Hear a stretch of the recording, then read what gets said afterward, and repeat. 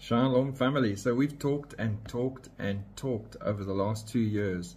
Every time they burn down a food processing plant, a farm, anything that's part of our food supply, and it's a war on food leading into the final week of Daniel to drive scarcity and famine.